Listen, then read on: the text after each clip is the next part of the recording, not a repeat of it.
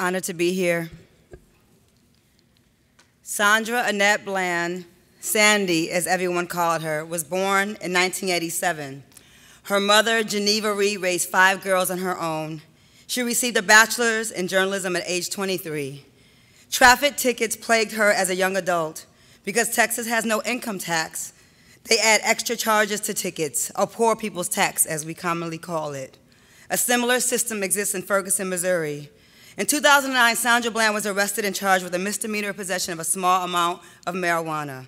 Her arrest was predictable. Nationally, one in five people her age were smoking marijuana, but black people are more likely to be charged. Another traffic stop would gain her a possession charge with a small plastic bag with 1.4 grams of marijuana. That amount would barely make three joints. In Texas, it was enough for another possession charge. On July 13, 2015, three days after being arrested for a traffic stop on her way to a job interview, Sandra Bland was found hanging from a jail-issued garbage bag noose in her cell. Her mother settled in 2016 for a $1.9 million wrongful death suit. No officer was ever arrested. This poem is for all of us who die under the laws of state-sanctioned violence and violent laws. If black women could be cut down, no, removed gently from American terrorism, who would break our fall? Which direction would we travel to feel safe? Wild is the wind. If we could turn in this skin, these sharpened bones, this brain full of power and history, who would we resemble? Invisible doesn't come in black. How many nervous breakdowns? How many funeral black dresses? How many fibroids? How many nooses? How many of our bodies must be raped, cut into pieces, burned inside garbage bags, buried? How many of us blossom a beautiful, a beautiful tree of life and pray their pride isn't cut down the middle, reduced to trunks, or a close friend doesn't die, simply climbing their limbs, attempting to grow outside this gritty soil they were planted? I put a spell on you.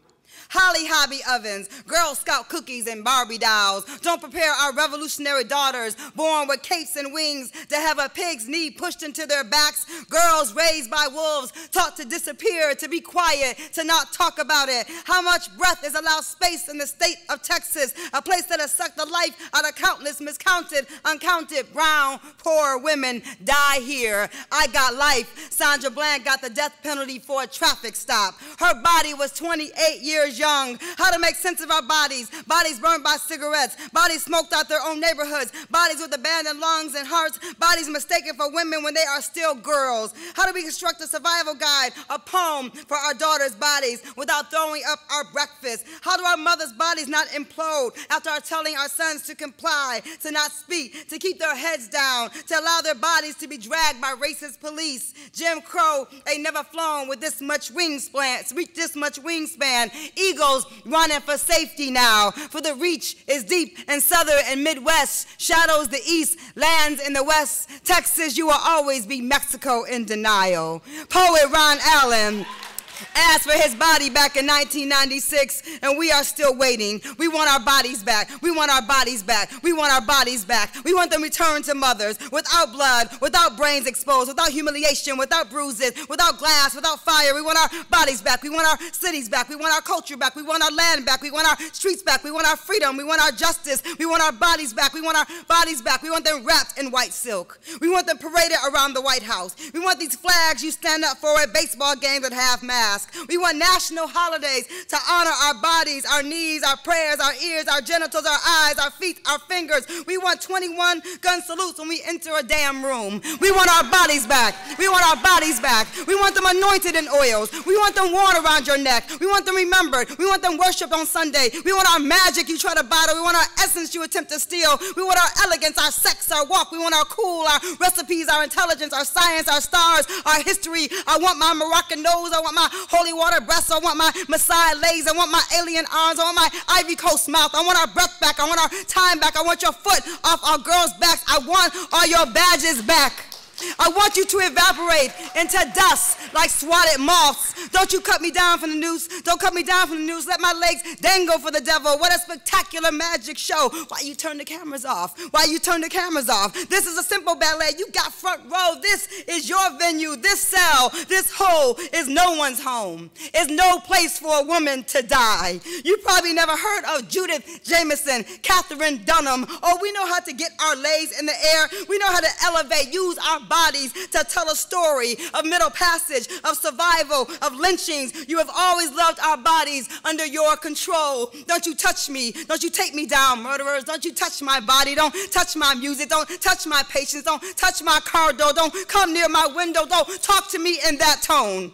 This body of work got work to do. I'm resurrecting my body in new forms daily. Watch for me in your deepest sleep. Black is the color of my true love's hair. Listen for my songs. Watch for my walk. Listen for my voice, my black girl attitude. My, watch my body resist your death traps. Watch me rise. Watch my rebirth. Watch us rise up from this new Jim Crow, from these new unspoken apartheid laws. We want our bodies back. We want our bodies back. We will take them, protect them, raise them. Remember you, Sandra Bland. We will never forget your brown body, your mind, your pride, your spirit, your love, your vow to do God's work. We want your drive from Illinois to Waller County back. We want all our daughters back, and we want them back now.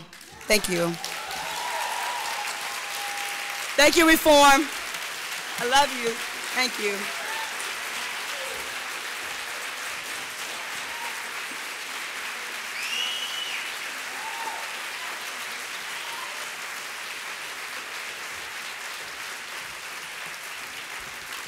Thank you, Jessica, for that incredibly, incredibly powerful introduction to this panel. I feel like we all might need to take a deep breath because that was so moving and so powerful, and we thank you for sharing your words with us.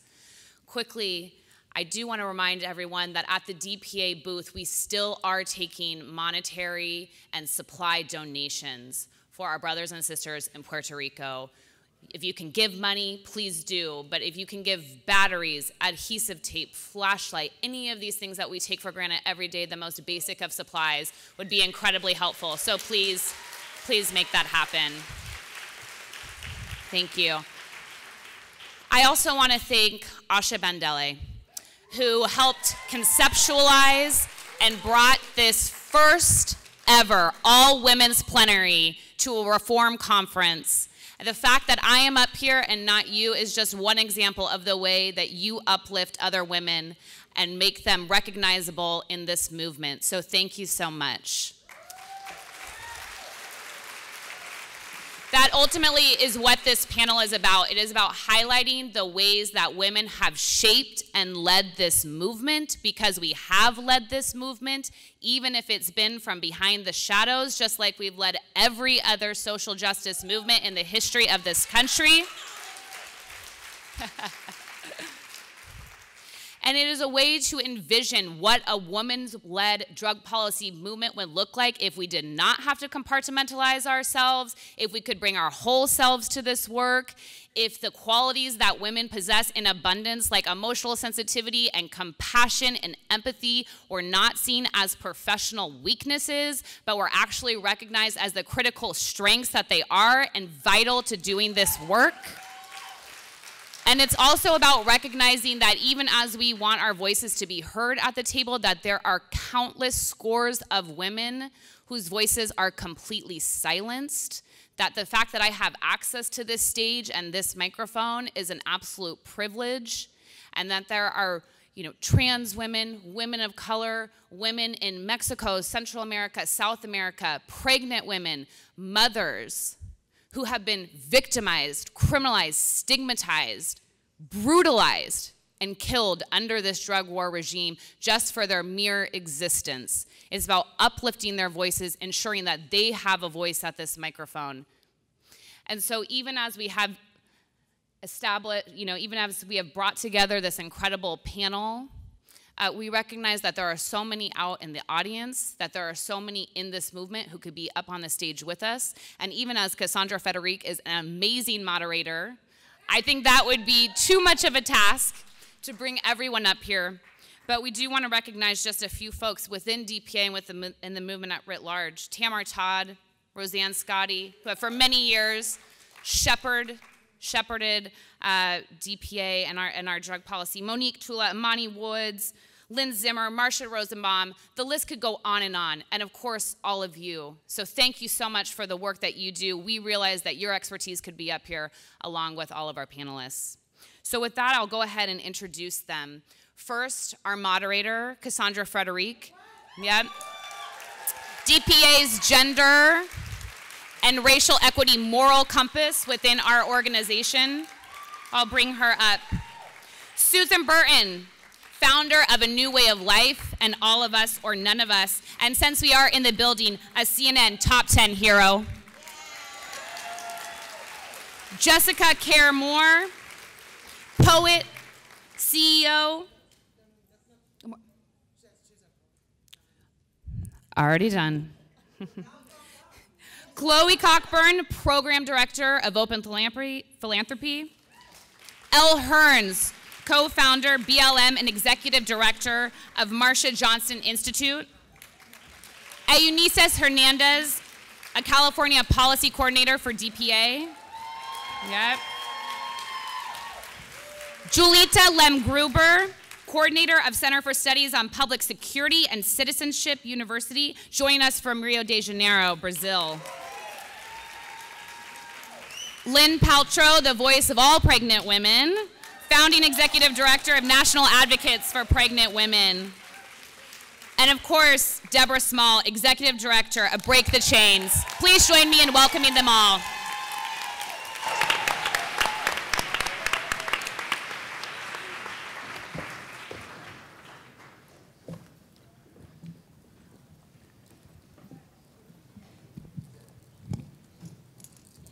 Good morning. I want to highlight something um, that Lindsay so eloquently laid out. Drug Policy Alliance is a national organization working to end the war on drugs with all of you. And one of our main strategies for doing that is through legislative advocacy. And even within our organization, most of you know us through our grants program, through ASHA, or through the residence offices that are in your states. But one of the, one of the key central groups in our organization that people don't really interact with um, is one that you often don't really think about. And even within our organization, we take advantage but our Office of Legal Affairs has been run by all women for a very long time.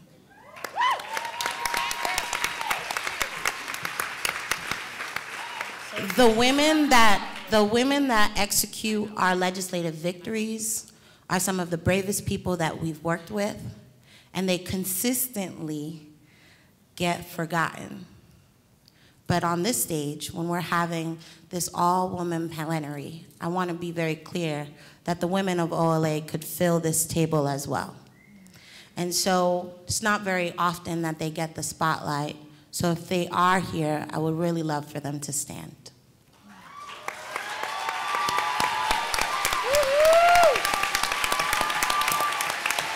Jolene, Teshia, Tamar, Lindsay, Joy, we miss you.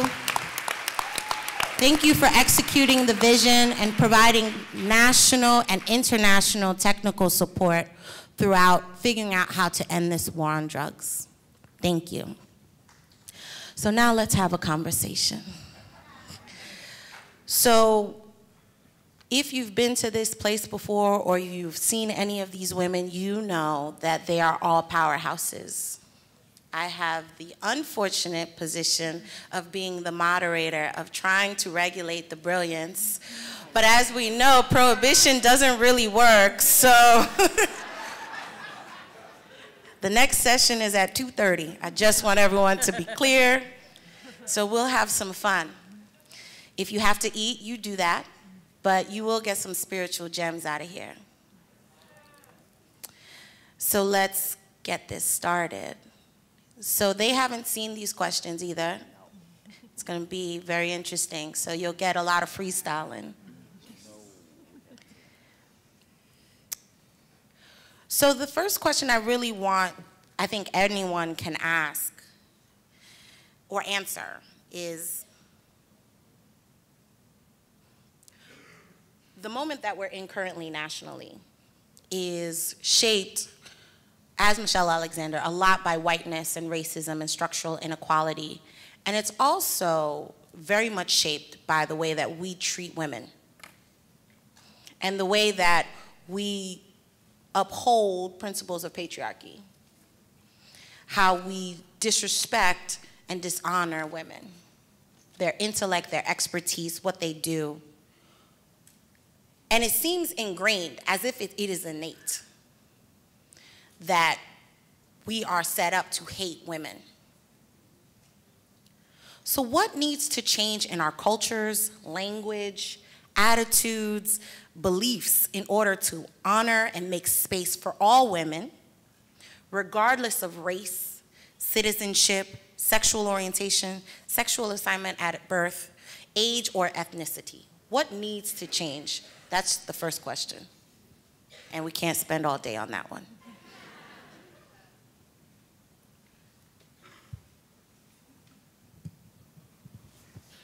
Go first. Pull it out. Well, no, I mean, I think something that DPA does really well, and I think I've had the opp opportunity to experience, is that whenever there's a new role opening up, even when it's outside of our organization or within our organization, we really think about who needs to be in this role and who has traditionally held this role. And we've seen that in many organizations, including ours, a lot of it has been white dominated, male dominated. Um, but if you look at our like offices throughout the state, you'll see that there's like this amazing change happening, but it's being driven by women who have had the opportunity to take up these roles that we have not traditionally had. So something that needs to change is with organizations and folks, when there are positions opening up of leadership or within organizations, really think about how can we uplift those people that have been most impacted, traditionally women and women of color. So. So I want to speak outside of DPA. Go ahead. Um, so I'm the founding director of a New Way of Life Reentry Project.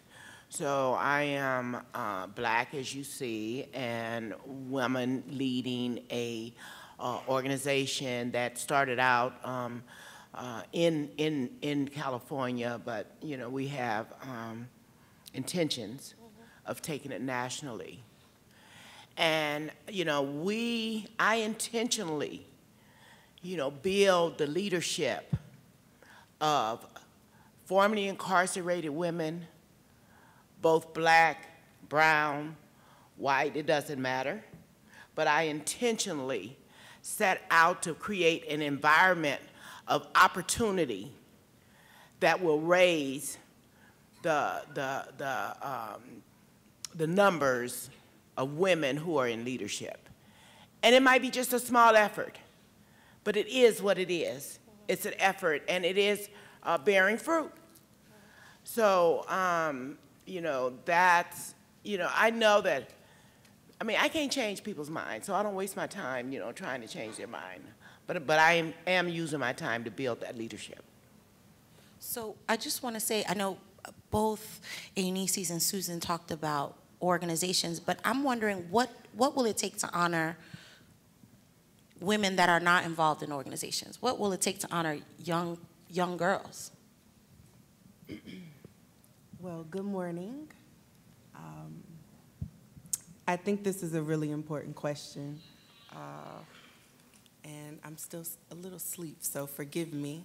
Um, this question is a great one to start out with because I think it provides great grounding and a foundation for what will come in the conversation. Uh, but generally, what I believe needs to change and, and the work that I do at the Marsha P. Johnson Institute in, in changing is really our belief in participation in white supremacy.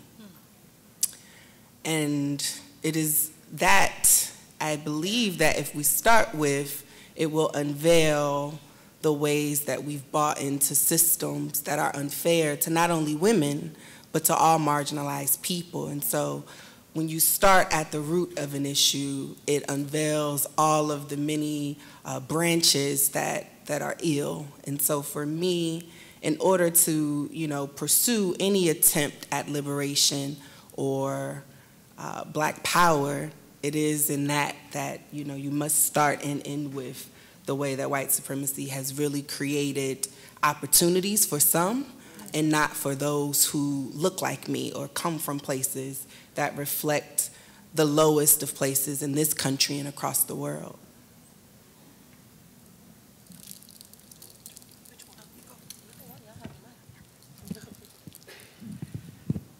Thank you, Deborah. Thank you, Cassandra. Um, I forgot to do that thing where it says if you want to be taken seriously as a woman and also thought of as kind, you have to stand with your arms akimbo for 10 minutes before you talk. I, I forgot to do that. Um, could you raise your hand if you know someone who's been pregnant? Okay, look around the room. No, keep your hands up. Look around the room. Okay, so I think this is a cognitive science thing. We all know that pregnancy only lasts nine months. 16% of uh, people with uteruses don't ever get pregnant, or at least don't get pregnant and give birth. I'm, I'm one of them. Um, but somehow, we don't include pregnant women from the beginning of any policy that we create that is related to this. And what do I mean by that? When we do uh, housing first, does housing first incorporate pregnant women that start out as one person and end up as two? Does it really think about family and parenting uh, in that housing? Is it family housing? Um, if we're talking about safe injection rooms, does the first iteration of that argument include people who might be pregnant and need those places?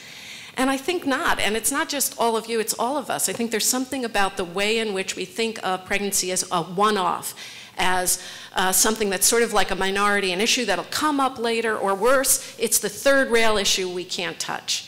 But of course, you can't make the trains run without a third rail that's full of electricity and life. And yesterday we had the beautiful speech uh, um, about how the drug war is about white supremacy and can't get addressed uh, um, until, can't get resolved until we address racism. And Michelle Alexander pointed out what a lot of people are feeling, that especially around this opioid epidemic, we got nicer as folks got whiter. Absolutely true.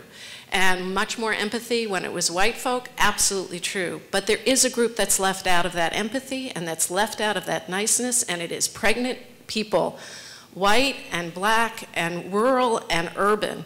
And they are the exception um, when the whole opioid epidemic, I keep looking, so Professor Patricia Ochen is going to be looking at this.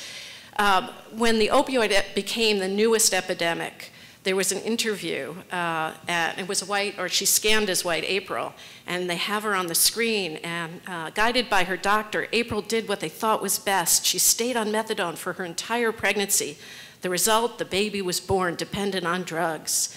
What did it feel like to know that the use of methadone had caused so much suffering?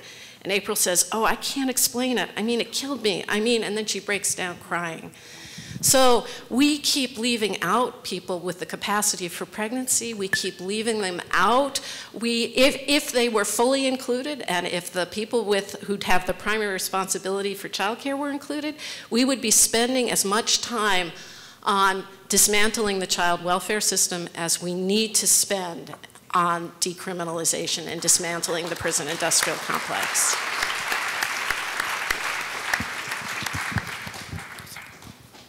And the main thing I want to say that needs to change is a social, economic, and political construction that treats women as property. Yes. At no matter what age they are everything that we're talking about, the problem, and it's not exclusive to the United States. This is a global problem. No matter where you are in the world, women are disproportionately subjected to violence, partner violence, state violence, all kinds of violence, because they're perceived as not whole people, independent people, but as property of their husbands, their fathers, the state, the system sometimes even prisoners of their own uteruses, because when you're pregnant, they care more about the baby inside of you than they do about the woman who's carrying it. So for me, we really have to change the way in which women are conceived of in society as second-class citizens, as someone else's property, as people who do not have complete, total independent agency.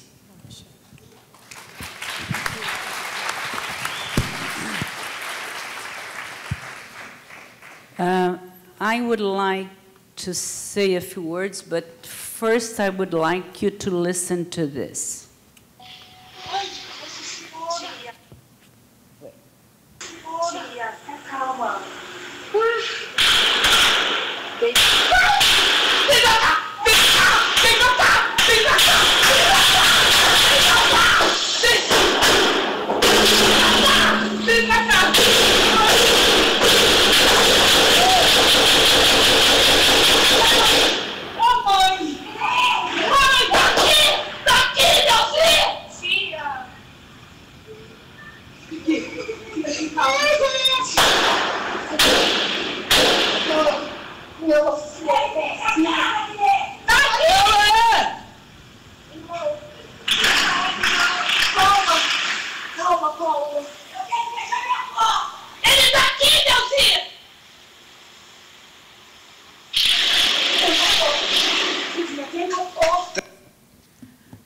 Uh, where do you think this is going on?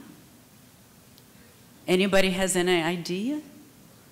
Syria? A place where war is going on? No, this is in Rio. In a favela in Rio, in a favela, a slum area in Rio, where women are trying to protect their children from the bullets coming from the police. So today, as in many Latin American countries, uh, women are in the center stage of a fight for their rights, for the rights of their children in poor areas, and Rio is a terrible and dramatic example of this. Last year, the police killed in Rio, only in Rio alone, 925 people. In the whole country, the police killed more than 3,000 people. So, uh, what we are working with now is trying to bring uh, this fight of these women for their rights, for the right of their children to the center stage in the debate. So we are working with young people from different favelas. Some of them are here.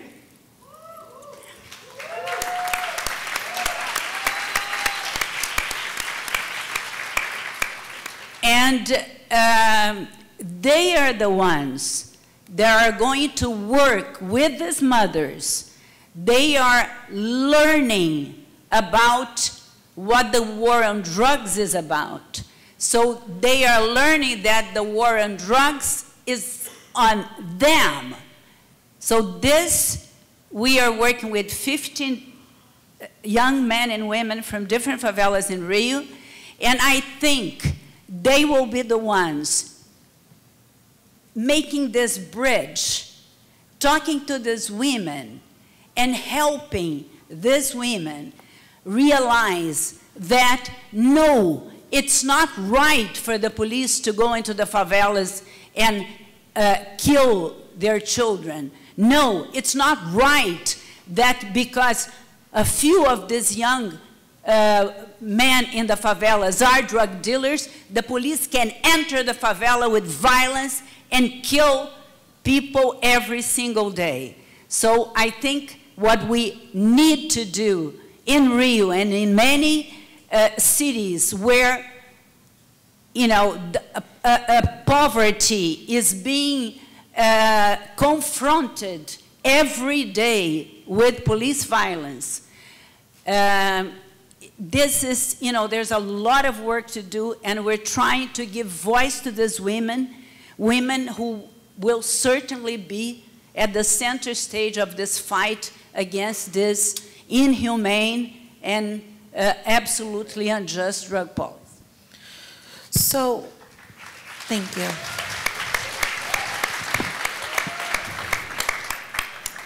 So based on your answers, what I'm hearing is conversations about white supremacy. I'm hearing conversations about censoring pregnant women. I'm hearing conversations about censoring the most marginalized. I'm hearing conversation about opportunity. And I think what I'm trying to pull out is where does white supremacy start? Where does patriarchy pick up? Where does capitalism come into it? And where and how does that affect how does that come through a globalization lens, right? So if we're talking about changing culture and we're figuring out how can we honor women, what are the different lenses that we need to incorporate in the way that we open up this conversation? Because Lynn, you talked about pregnant people, and Deb, you talked about the fact that women are considered property no matter where you live. And Julita, you played a tape of a very real experience of women in Rio. Susan, you talk about making sure and being clear about women who are formerly incarcerated have an opportunity to show up and to lead and to be developed, which is the same kind of opportunity that Eunisses talked about, about creating opportunity for women. But Elle, even within the conversation around women, how is it even in this current conversation right now that we're missing the mark on where all these different issues are threaded through. It's a, it's a, I love these questions. Um, and I love it even on the paper. It, and that's why I love, because I've been sneaking looking at the paper. Um, I, now I told y'all it was early. Uh,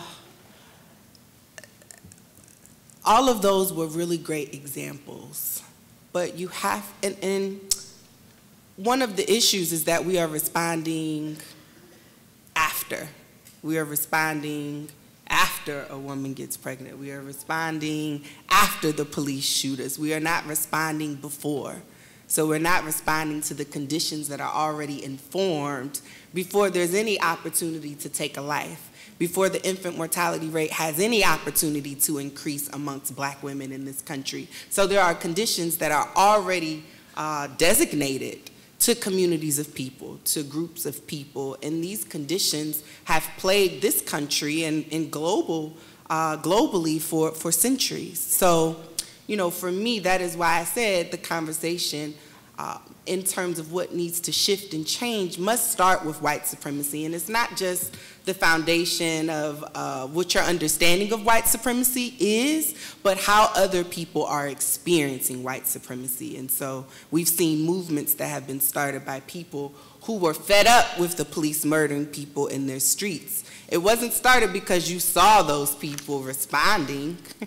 They were responding directly to something that they were experiencing every single day. So once we actually get to the very root of what exists before any of these other things transpire, then we'll really get to the piece that must take place before any life is created. And that really, for me, um, is the action piece. What, what exists before I even consider that I might have sex with someone and have a baby, or what exists for me before I ever become addicted to a drug, or before I ever become incarcerated. I spent a great weekend in jail, and it was not because I was a great protester, it was because I was black, and I was trans, and I was a woman, and I had no way of defending myself. And so the only way to assess, you know, how to deal with me, it was to put me in a jail and it was those conditions that really informed for me how I came into the understanding that white supremacy really, really is the root of, of all of the troubles that I've seen and the troubles of the people that I come from. And so, I, so Chloe, I'm getting to you right now because how do you fund the condition of being a woman? Right? Like, if you are, if, if the way that the philanthropic um, setup is, is based on how you are experiencing things. We fund people that are hungry. We fund people that are coming out of incarceration. We fund people that want to learn how to read. We fund people that are not housed. But what Elle is saying is that before we even react to the things that happen to us, there is a condition of being a woman. And starting from that precipice, how does philanthropy move in a space that is reactive as, as opposed to what Elle is saying is that foundationally we have to create the soil from which we can grow healthy human beings in this society. Okay, thanks for that question. Um, Chloe Cockburn is alluded to. I, I, work at a foundation called Open Philanthropy based in San Francisco. Um, I'm from Brooklyn. Thank you, my, new, my new neighbor, not Asha.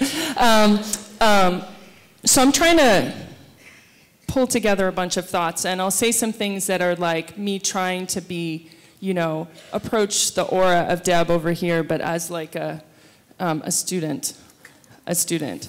So the, the, the, thought that was coming to me um, earlier in this conversation is that, and I will get to your question, um, is that white supremacy is power through separation. And I think this speaks to what you're talking about in terms of property, capitalism, extraction, zero sum.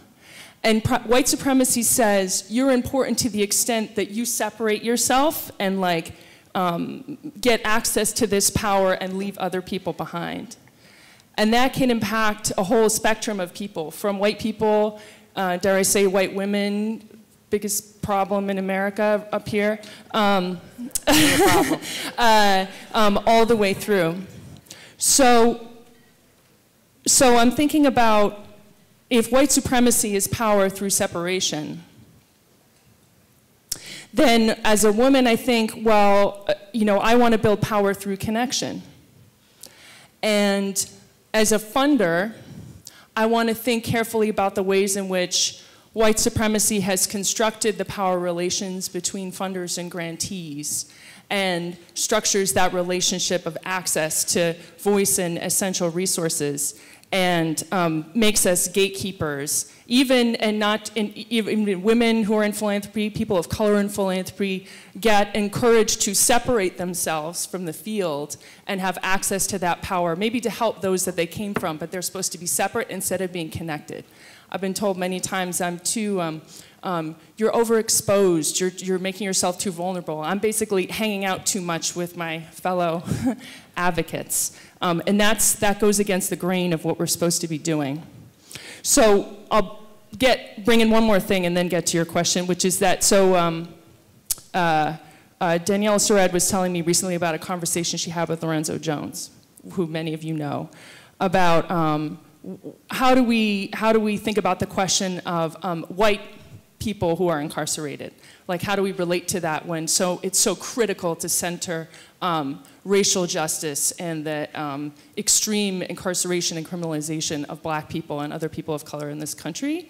And Lorenzo said reportedly, and I, I apologize to him if I'm mangling his words, which is that um, the obligation of, of white people who are incarcerated is to fight for what's yours and others as well.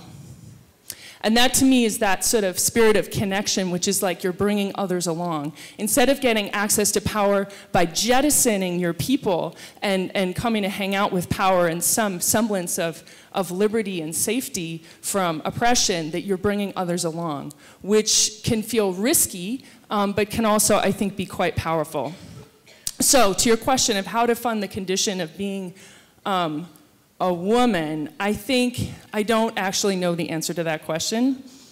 Um, I don't think I've done a good job of thinking hard about this. I don't think, certainly in the criminal justice philanthropy space that I'm thinking about, we're not like centering women. It's a very disparate field. We were just having a conversation about this before.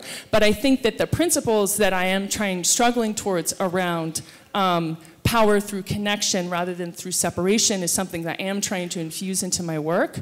Um, I should not just say my work, our work. Michelle, are you here? Stand up, Michelle. This, yes. Michelle Krenzel is my amazing colleague at Open Philanthropy. Um, she's speaking on a panel this afternoon, and she's awesome. So um, part of what we are trying to do in our work is, um, is to, to, to bring that ethic and those values of connection and um, bringing everyone along together. And I, I'm just hope, I hope that that would set a foundation for good funding um, for uh, women sort of oriented um, philanthropy as we move forward. Yeah, and so, Susan, I'm sure you have opinions about that, right? About so, cause I'm, cause I'm thinking about like advocates and thinking, cause as advocates, we get in the room and we go to the bar and we're like, they should fund this, they should do that. This is how we should. This is how I would do it if I was a funder, and then they become a funder, and then that's that's like it's like it's actually harder than you think it would be. But I, but I, what I, what I want to ask you, okay, girl. You know. She was like coming up on the side. I said I was coming to you though. Let me let me stay grounded here. So I feel like I feel like my work, or I know my work is urgent. Women are the fastest growing segment of the prison industrial complex. I started a new way of life out of a minimum wage job, changing diapers for old people, getting their medications reduced, washing their clothes, and grocery shopping for them. Because nobody cared that we were being thrown back into the streets after, after being tortured in prisons. So that's how I started a new way of life. And I never even thought I would ever need other resources besides the resources that our little community could come up with. That, that was very, very little. But it's grown. And I started a new way of life 20 years ago. And we have a little budget, and we have a legal department now, and an organizing department, and a policy department, and a distribution center. About 25, 30 of us work around the organization in, in South LA. And we have five houses in the LA area and have helped over a thousand women.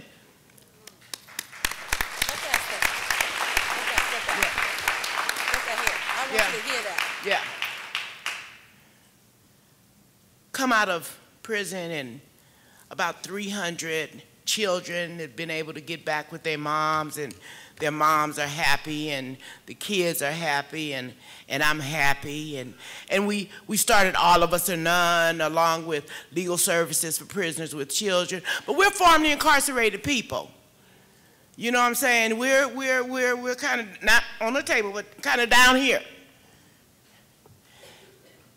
And I watch these white male-led organization that has showed up in the last three years.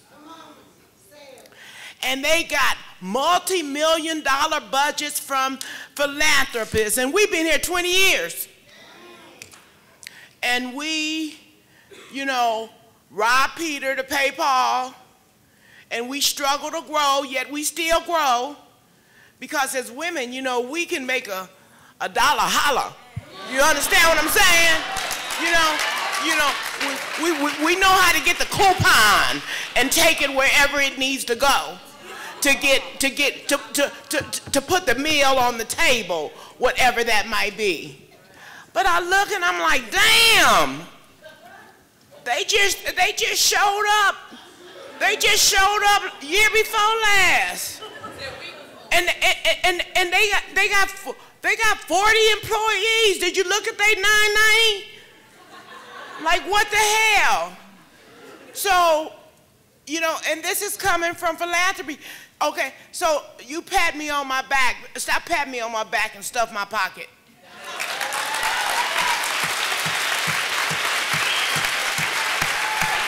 So,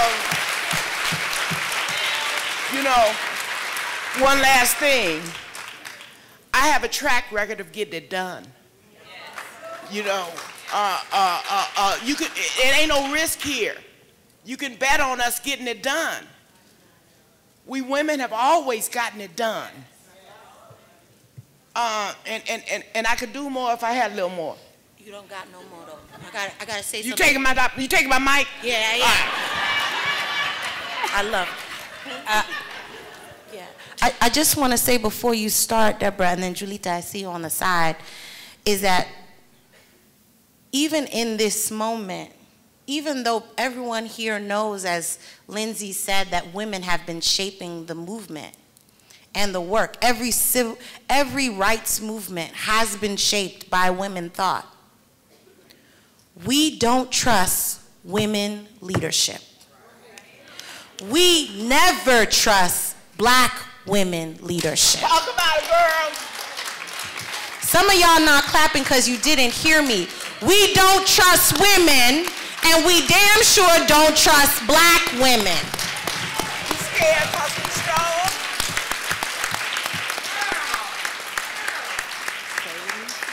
Some of y'all look scared. Damn. Some of y'all might not know where this sentence will end.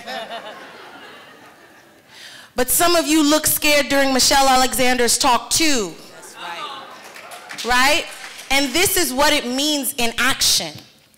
What we're talking about here is that sometimes we don't know how to get the answer because black women are walking the walk, but we have to figure out what it is that they have. Because we're more likely to trust a man to make decisions that women have already decided would not work. And we're confused as to why we're in the same spot. Deborah. So people, y'all just really need to grab your seats and just like get on this ride with us. Like seriously, because we're here, nah, we're here to deliver some stuff to you. So thank you, Cassandra, because I want to take us all the way back to the beginnings of drug prohibition and remember how they justified this shit to begin with. They justified it that they were doing it to protect women. Which women? White women. That's right. Now y'all paying attention. Get the lines off. Let's say that again. The first drug laws were passed against actually Asians. The very first drug laws were passed in San Francisco, which was not always a liberal paradise. All right? And they were directed specifically at the Chinese population and the specter was these Chinamen alluring these white women into the opium dens and corrupting them. And then 10 years later, it was these black men alluring white women with cocaine and corrupting them. And then later on, it's the Mexicans who were luring white women with marijuana and corrupting them. And it makes you wonder, is there something special about white women that makes them easily corruptible?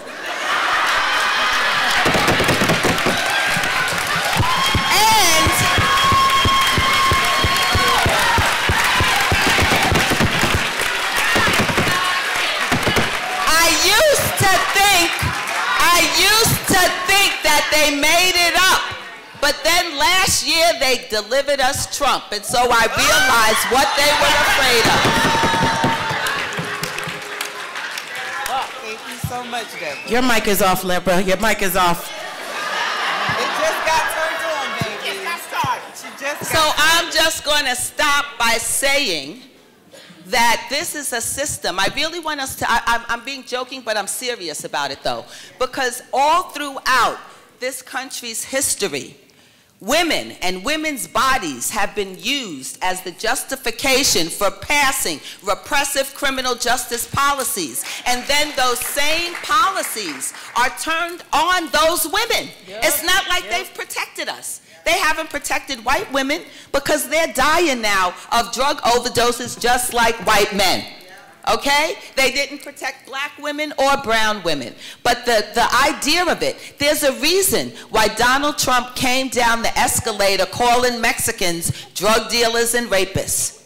Because that's a formula that still works. So let's just call that. Let's see that. And let's like actually bury that.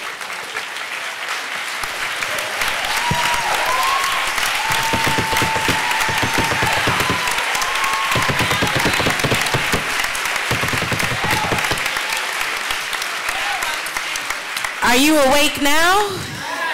All right. Julita, Julita's like, why? it, it's quite difficult to say anything after uh, uh, Deborah Small. Deborah Small went to Brazil last year, and I mean, you know, she just became a star. So everybody just loves her in Brazil. But I wanted to relate to something uh, Susan Burton said. Uh, you know, uh, this is an issue which is a central issue in Brazil today, women in prison. Uh, uh, of those who are incarcerated in Brazil today, 35% are in for drugs. 67% of the women are in for drugs. So 35% of the men and 67% of the women. And we know very well who these women are. So they are the ones dealing drugs, you know, in the lowest stages of this drug, so-called drug organization. So they are the ones that are caught for very small amounts of drugs. Those are the women that sometimes are in the poor areas taking care of kids that are the children of people who are involved uh, in the drug business. And this, uh, basically, this 67% of women who are in prison in Brazil today, these are women who are uh, the leading figure in their families. So they are the ones that support their families. So they have no husbands, they have nobody to visit them. Uh, I know, uh, Susan, this is the same thing in the US. So women go to prison, nobody goes visit them. Sometimes the husbands are uh, um, embarrassed to go to prison because they have to be submitted to all those, uh, uh, you know, humiliating uh, uh, uh, experience of going into a prison. So many women are abandoned. You go to the male's prison and you have, you know, you see those long lines uh, uh, of women coming with bags, with everything for them. And so uh, this is uh, uh, an issue that all of us should be concerned because everywhere in the world, the numbers of women in prison are going much faster than the numbers of men in prison for drugs. So, uh, you know, I think that all of us that work in this area, you know, this should be a central concern.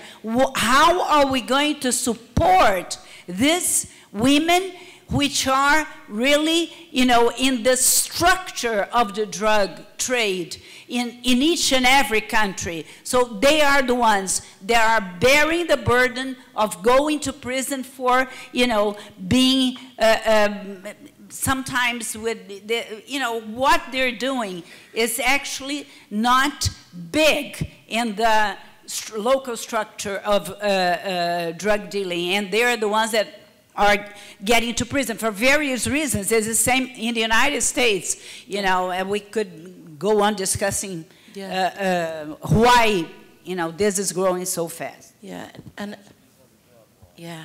Elle, did you want to? I just wanted to offer, well, one, Deborah, thank you so much. I just, you know, thank you so much for providing us all with some clarity this morning. I said I was asleep, but I said, you know, that's the kind of shit that wakes me the fuck up. so I'm clear. I'm clear. I just wanted to offer that what is also really essential and really important to consider in this conversation or in this question around philanthropy. specifically is the stain. There is a, a great stain of America's guilt that moves throughout philanthropic spaces. And so in those spaces, you have to consider who has access to informing who has resources and where those people come from. And if you have spent your life being a part of solutions, then you know what exists in these spaces. When I left the Franklin County Jail in Columbus, Ohio, I left with no shoes on. I left with no shoes on and no idea that there was some huge, big old movement that awaited me. I had no idea that people were funding people to end things that I had experienced. That was not my reality, and that is not the reality of the people that I came from. So I think what's really, really important to consider is who is literally fighting for their humanity.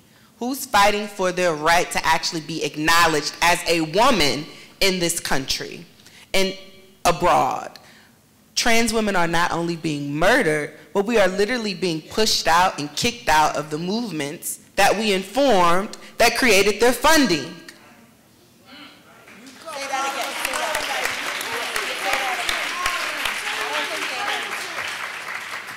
We are literally being removed and kicked out of the spaces we've informed that have supported you all coming into great faith about America's great sins. So I just think it is really, really important that while we have the ears of philanthropy, because I'm sure you all are present, hello, that we understand the issues that our communities are facing. So when we are screaming, we want the police to be abolished, it is not because we are hateful or we hate white people. It's because the police are literally killing us. All of us. All of us. All of us. But specifically, black people. And we've seen this play out with the murder of Sandra Bland. We've seen this play out with the defense and then the murder of Korryn Gaines. So one of the things that philanthropy has to do is to stop pretending as if what we are experiencing is something that they can replace with a policy or a women's march. Because you funded a women's march and Charleena Lyles was murdered. So you must have some context and also some good faith, not only in black women's leadership, but in the very things that have created the things that have responded to black women's leadership. And the reality of black women's leadership is it's not going anywhere. As long as you keep killing us, we're gonna keep, baby, listen. So I just wanted to offer that to you all to understand that we have always created the opportunities to resolve. What you all have not done is created the opportunities to enter and sustain. And that is something that has to change.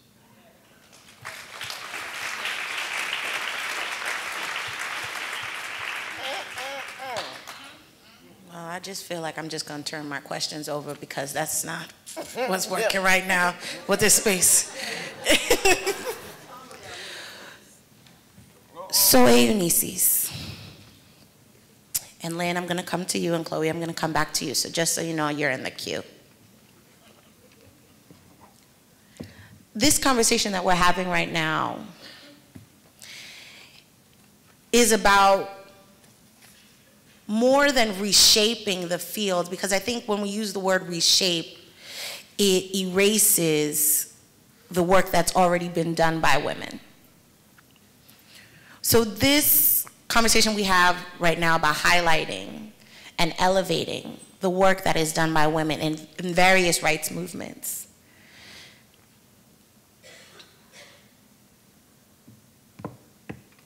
is multi-layered.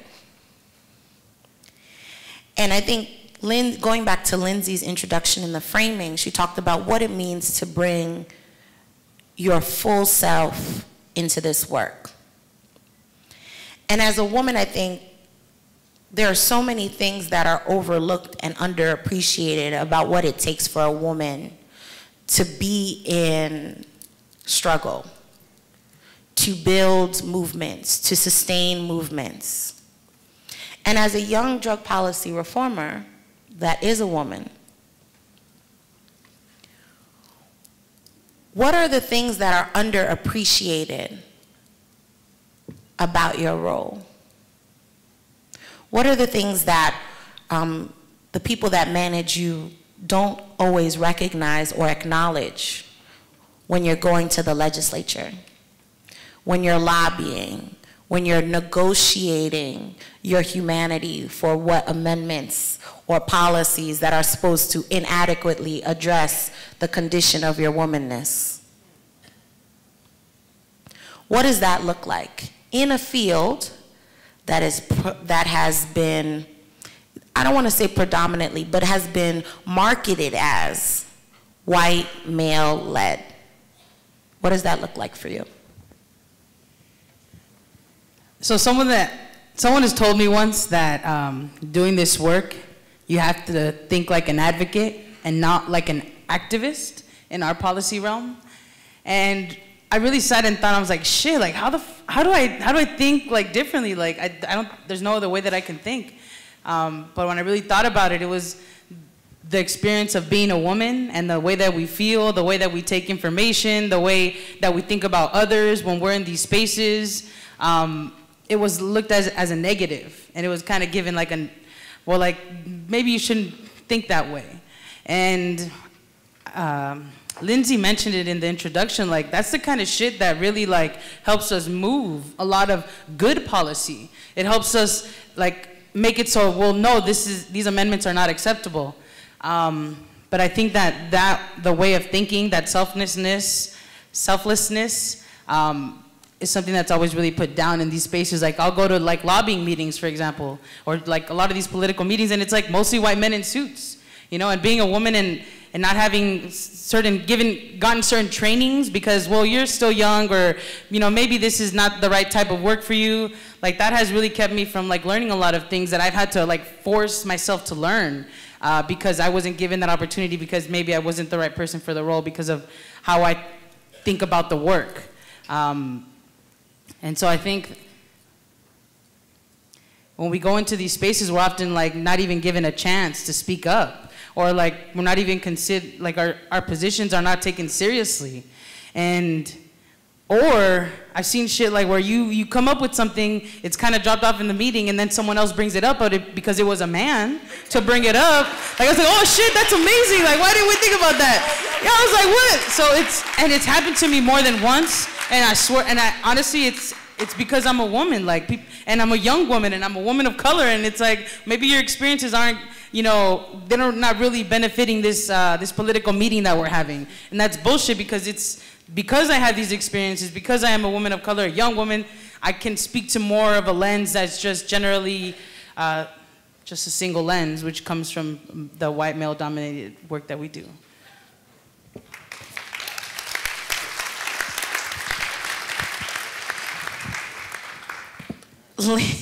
Silent. I'm going to ask you this question, and I hope you give me some grace, um, and you take it where you want to.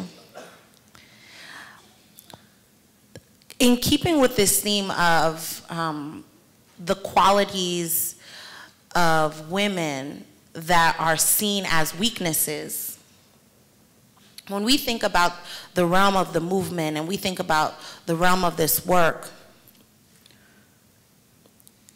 What are the false distinctions that are made about women? What are the false distinctions? And also, what are the things that our movement is not responsive to when women are pregnant?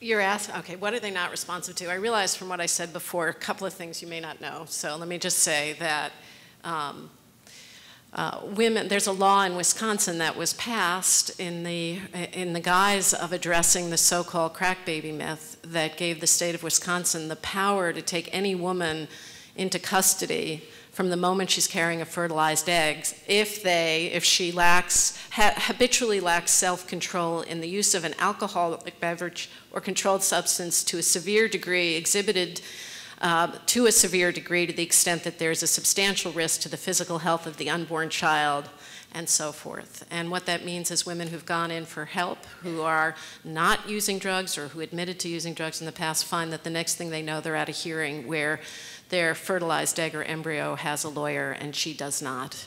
And she is ordered into either treatment or jail or a mental hospital. And that law's been in place for 20 years. And even though we have, with the help of the Drug Policy Alliance, uh, uh, they, the argument that this government is using to defend that law is if you don't keep that law in place, how can we control those pregnant women? And this fallacy that is a true across movements that somehow no woman, no pregnant person can guarantee the outcome of her pregnancy. And one of the biggest concerns right now is that prenatal care really hasn't addressed the maternal mortality and infant mortality rate in this country, which is so overwhelmingly uh, black and uh, women. They said, if you give us control over the women, we will be able to have healthy babies, which is the biggest lie ever. So that's one place. In Alabama, they passed a law called the Chemical Endangerment of a Child Law that was presumably to punish adults who took children to dangerous places like meth labs. And prosecutors argued that pregnant women's wombs are dangerous places, and if they use any controlled substance, they should be arrested under the Chemical Endangerment of a Child Law. And the Alabama Supreme Court said, you're right. In Alabama, a child is a fertilized egg, and any controlled substance, even one prescribed to the pregnant woman. Hundreds, 500 women have been arrested there, uh, most of them rural white women. Now, that follows the history of targeting black women and using the crack baby myth and using the legacy of slavery and not valuing black motherhood to get that idea across. But I guess the, the, this may not be the direct answer, but this is the opportunity. The drug war is laying the foundation for uh, the uh, uh, criminalizing abortion. And I don't mean punishing doctors, I mean locking up the women. We are already locking up women who've given birth to healthy babies and use the drug war as an excuse to do that. Uh, the place where there's the brown and black women all over this country disproportionately and white women have their children in the child welfare system, which is a mechanism of surveillance. It is like being on probation and parole without ever having been tried or convicted of a crime and without the right to counsel at most stages of your proceedings. So one of the things we have to do is uh, recognize the, the connections that um, when they arrested um, Jennie McCormack in Idaho, she got a hold of a drug called misoprostol. So, by the way, none of the criminalized drugs are good at ending a pregnancy. And that's pretty much why so few pregnant women actually use any criminalized drugs. Because if they were good at ending pregnancy in 85% of the counties where they don't have abortion uh, facilities, they'd be using them.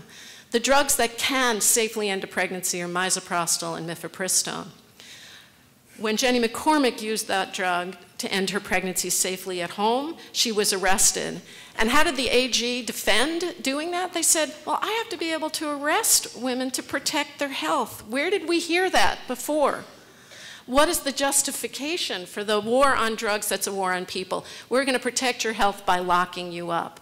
That does not stay within the confines of the, of the drug war, the drug policy movement. And in Georgia, when a woman got a hold of misoprostol and it was found out that she used that drug to end her pregnancy, she was first arrested for malice murder. And when the prosecutor felt he had to drop that because of the work that we had done, National Advocates for Pregnant Women, they then charged her with possession of a dangerous drug. What was that drug? Misoprostol. So what we have to do in order to protect everyone, I don't know about centering because sometimes that sounds to me like you have to switch all your priorities and make them the focus. No, just include what are the consequences for everyone, including people who get pregnant and give birth, whether it's in prisons and they are still being shackled, where it is, uh, where they cannot get adequate prenatal care, where hospitals are closing and midwives are not uh, coming in and replacing them. So I think as movements, one of my places of hope is that these, that is becoming clearer and clearer that the right to abortion is going to be upended by the war on drugs. And it's going to take white women recognizing that, and it's going to take working on white supremacy to end the attack on abortion, just like the war on drugs. And that will be the beginning of really changing this. Thank you.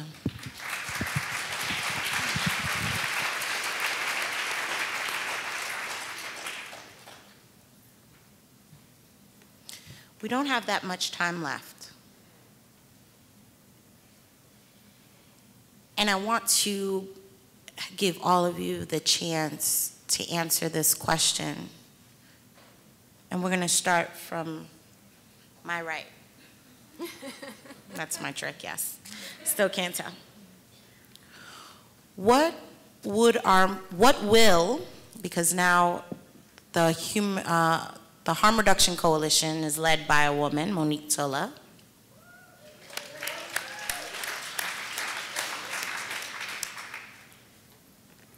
Drug Policy Alliance is now led by a woman.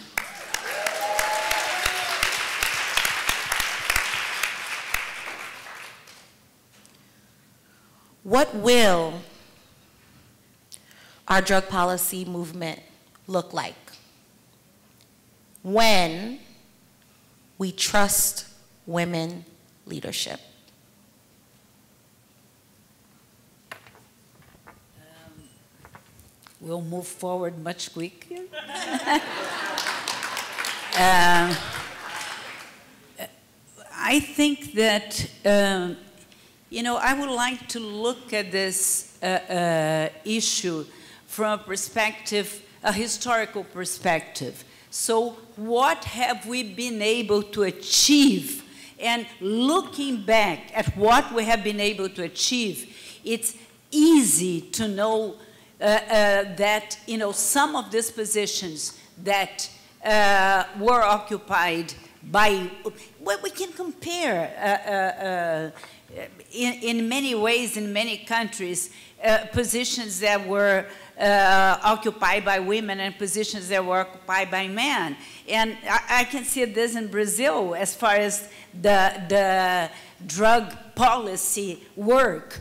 Uh, more and more uh, women are uh, leading this work in Brazil in various ways, not only in NGOs, not only in uh, uh, stronger organizations, but I think that women are beginning to lead the way in their uh, in the, uh, where they live, in their favelas, in the, the slum areas, in the different cities, because these are the ones that are feeling the burden of what the war on drugs has uh, uh, made, of what uh, uh, the, the results of the war on drugs in these poor areas. So I think that more and more, this is what I see in Brazil, more and more women refusing to admit that, uh, uh, you know, police violence is justified because there, there is a war on drugs going on. So I see this more and more. So there are more mothers that don't want to accept that the police is treating their children differently because they are dealing drugs. We just had one case, uh, uh, I, I, just want to mention this case to finalize. Uh, we just had one case last week in Rio. A woman was in the streets and the police came, and the police was beating two of her children, two of her sons, because they were in the streets, and the police suppo supposed that these kids were dealing drugs. So the police came and violently uh, uh, was violently beating these two boys. So the mother just, you know, some time ago, mothers would accept that, you know, so they were doing something wrong, so they would accept. They are not accepting anymore. So this mother, last week in Rio, she refused to accept that the police was beating her two kids. So she fought for their two kids. She right. confronted the police. Right. And you know what happened? the police with the gun. So the police didn't want to kill her, but the police at that moment, so the police with the gun, the police hit the woman's head with the gun. And she died in the following day in the hospital. And she was fighting for her two kids. She was showing there that poor black women are not going to accept police violence anymore. They're not going to accept police violence in the name of the war on drugs. Thank you.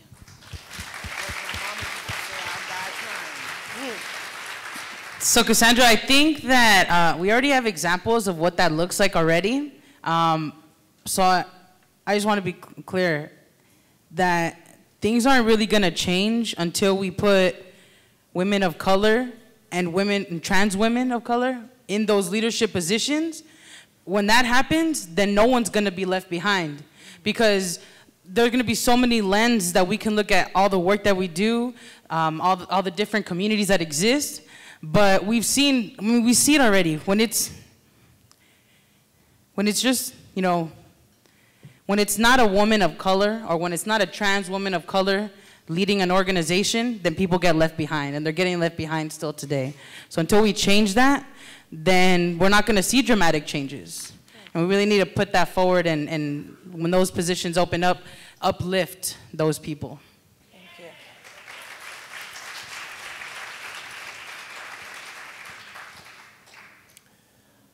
I think when women get fully into the leadership of this movement, what we will we'll see from the ground up is the transformation of communities to become healthy and vibrant and thriving communities. Um, and, you know, we all, you know, women, we're out there and we're working and we're trying to bring about what change possible through our own um, uh, individual work. And I believe if we get, we can, we can become more collective and, and supportive, creating that, that bridge and that synergy and that connection between one another, uh, both locally and nationally. And, and I just want to, to, to say that, that a new way of life has been shown as a successful model. And what's happening uh, later this month is a replication model that will be the, that will be opening up in New York City, and it's the first of the replication model that will that will be, provide a safe space, a safe house for women as they transition out of uh, incarceration back to the community. This is, this is done for formerly incarcerated women, by formerly incarcerated women. And one other thing I just want to do a quick shout out to about is um, Wellspring Advisors and the Women's Foundation has created 10,000 copies of my book, Becoming Ms. Burton. And next year, I'll be going on a tour into prisons because I believe that that book is an important book for incarcerated women to be able to read. And this, this is just the things that we do as women uh, to help promote the healing that needs to happen uh, because of the war on drugs. Thank you. Through the war on drugs.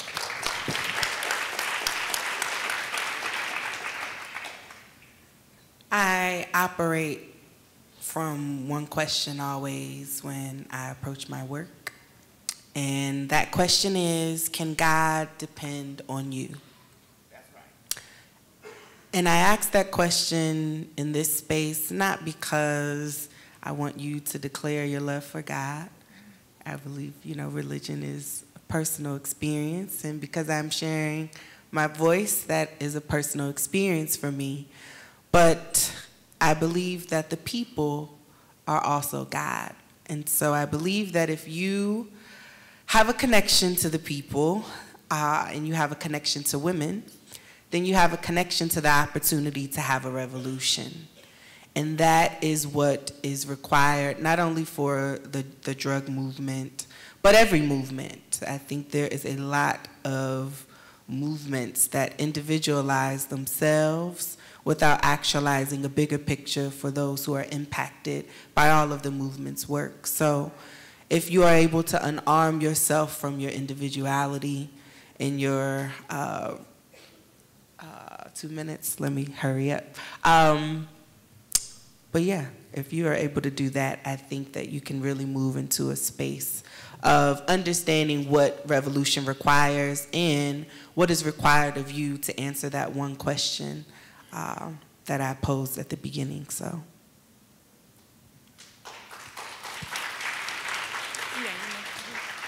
Um, so, not being a, I, I don't, I, I, consider myself an ally of the drug policy movement, so it's hard for me to sort of pro, um, propose a vision of what will look like when we trust women leadership. But I can say, just from my own position of someone who's a very um, proud supporter, funder of your work, Cassandra, and your work, Asha, um, um, I think, you know, that should be the beginning. And as you said, this work is already happening, but I, I, uh, I'm really excited about the momentum that you're creating and what you're building here. And I'll say that just a little bit about what I think has allowed me to do that, make that grant. Um, I think, as I said before, the higher up you go in philanthropy, the more money you control. You have all these like movement-friendly sort of low-dollar funders who are like super down, but the higher dollars that people command or the bigger foundations, the less you're supposed to fund movement work, the more afraid people are to fail. And when you're afraid to fail and feel like you have to preserve your sort of special wisdom, um, that tends to drive people to fund men or to fund white men, to fund safer, more reliable things. Um, so what's exciting to me about being in Silicon Valley as a Silicon Valley funder is that um, um, they're risk tolerant by values. They want to fund risk. Now, as we know in Silicon Valley, there's plenty of white male power. That um, willingness to fund risky projects doesn't mean women of color lead, for example, necessarily, because the people they're willing to take a risk on are white men. But I'm not from there. Um, I'm the daughter of a trailblazing journalist, woman, really strong force in my life, Leslie Cockburn, and I'm a lefty and I'm from the East Coast and like I hang out with you guys. So when I go out there, my politics and values plus we're open to risk means that we can open the door to more resources going to exactly what y'all are talking about. And I hear you, Al. Um, so what will the drug policy look like when we trust women leadership? That's for you all to tell me, but I hope that to channel a lot more resources in that direction.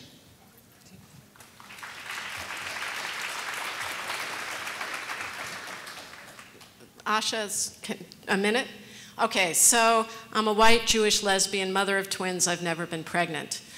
I, I, and I, what I want to say is I've had the privilege, and I can think of it as a privilege most of my life, working only for women. Now that's white women. And what I can tell you is there's nothing about having ovaries that guarantees that we're better administrators, leaders, or more in touch with our feelings. What I can say is that those women who are uh, brilliant and amazing should have that chance for leadership, and I have benefited from every one of them, from Asha and Deborah, Byllye Avery, Lily Allen.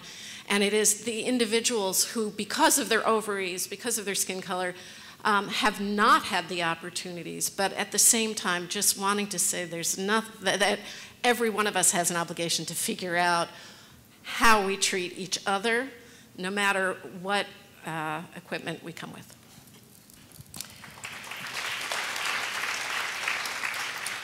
So I agree with Lynn. I don't think that there's anything magical about having women as leaders that guarantees that you're going to have a better result. And I just look at the American feminist movement that was led by leaders and had no problem kicking women of color and poor women to the curb when it came to dealing with abortion and contraception. So for me, that's not it. Now, I am encouraged and extremely hopeful about Monique and Maria. You know what I'm saying? So I don't trust women, I trust them. You know, and what I hope and pray is that the values that they have, that I've heard them articulate in terms of their vision for their organizations and for their movement, is able to be realized. But I know that it will only happen with the support and cooperation of all of us, because leaders can't do anything if they don't have people supporting them. Thank you for your patience. And I want to say again, thank you to our speakers. If we can give them one more round of applause.